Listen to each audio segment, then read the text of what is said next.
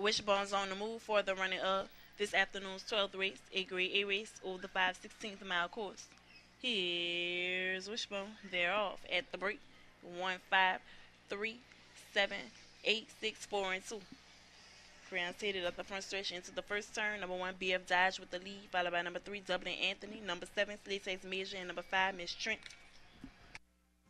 Ground headed down the back stretch is 1 3 5 7 2 4 8 and 6 into the final turn. Headed up the home stretch, number one BF Dodge, headed for the win. 1352 at the wire. Please hold all tickets. Anthony running to show number five, Miss Trent. Coming in fourth, number two, Braska Kylie. The mutuel prices are